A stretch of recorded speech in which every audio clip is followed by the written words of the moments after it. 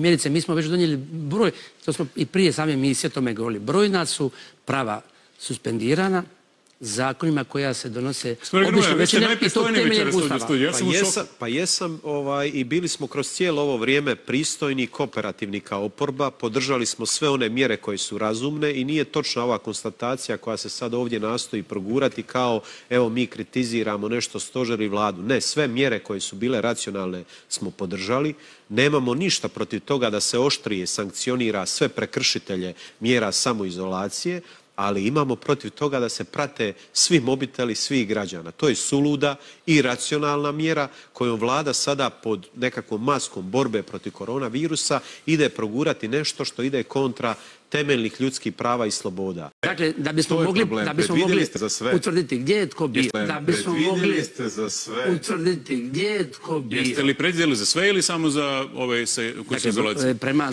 čitavanju zakona odnosi se na sve građane Republike Hrvatske. Prema čitavanju zakona odnosi se na sve građane Republike Hrvatske za vrijeme dok prema, prema zakonu kako je napisan u zakonu.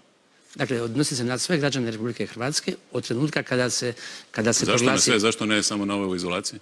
E, pazite, postoji e, više razloga za to. Postoji više razloga za to. E, gledao sam prije par dana jednu presicu stožera. Jedan je vaš kolega novinar postavio pitanje predsjedniku stožera civilne zaštite nacionalnog stožera da prema, ne znamo dakle njemu ta saznanja, da je u zadnjih mjesec dana u Italiji i u Austriji bilo preko 30 tisuća građana Republike Hrvatske na skijanju. I on njemu postavio pitanje, znate li možda, jesu li svi se oni prijavili, jesu li svi e, e, se prijavili za testiranje na koronavirus? Nisu sigurno.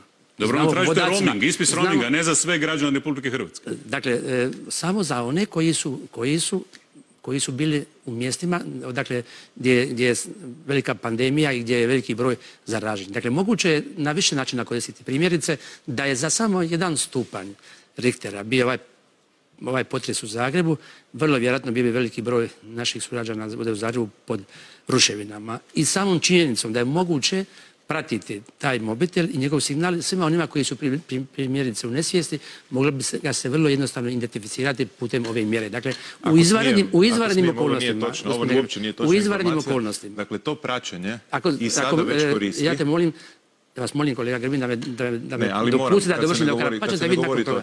Dakle, Hiljadama godina zemlja je bila naš dom, ali će uskoro postati naš zatvor.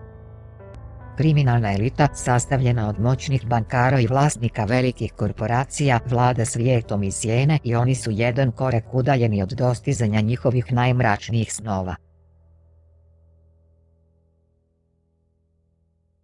Jedan, kreiranje jedne svjetske vlade kojom dominira oligarhijska elita. 2. Uspostavljanje globalne elektroničke valute kako bi se podijeli u svijetu dvije vrste ljudi, gospodari i robovi. Pri implantacija čipa u svaku osobu sa njenim biometrijskim i osobnim podacima i elektroničkim novcem koji posjeduje kako bi se postigla apsolutna kontrola populacije. 4. Reduciranje stanovništva kako bi se lakše kontrolisalo i bolje upravljalo prirodnim resursima. Kako će oni to učiniti? Vjeruje se da oni to mogu učiniti putem tri simultana strateška poteza. Prvi ekonomski kolaps. Elita će stvoriti veliku međunarodnu financijsku krizu koja će kulminirati ekonomskim kolapsom. Zatim, mnogi ljudi će izgubiti svoj posao i ušteđevine u Europi i Sjedinjenim državama. Nakon rasta protesta, elite će stvoriti lažne antisistemske grupe koje će stvoriti period kaosa kako bi stanovništvo tražilo uspostavljanje strogog reda i autoriteta. Najantisocijalniji ljudi su odabrani za obavljanje zadatka policajca ili vojnika i vrše represiju stanovništva. Vlada promiče prijeve i prokazivanja među građanima u zamjenu za pogodnosti i nagrade.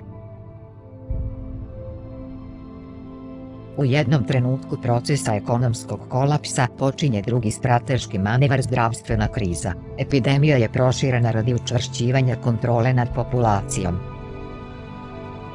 Ne sumnjajte, mi živimo u najvažnijem dijelu svog života jer bit ćemo protagonisti najvažnijih momenata u ljudskoj istoriji.